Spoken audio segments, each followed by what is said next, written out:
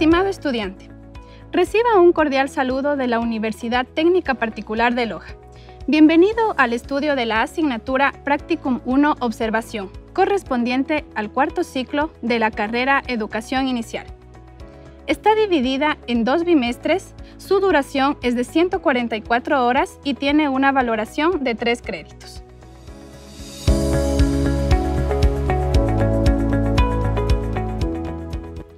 El estudio de esta asignatura le permitirá a usted conocer las características particulares y la normativa legal de la educación inicial en nuestro país.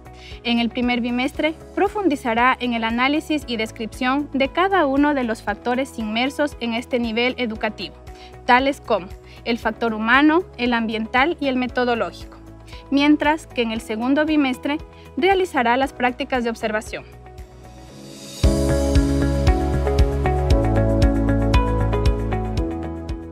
La finalidad de la asignatura es que usted, como estudiante de educación inicial, realice su primera inserción en el campo educacional mediante observación directa de la práctica docente y experimente la realidad educativa en varias instituciones que ofertan el nivel inicial o en centros de desarrollo infantil.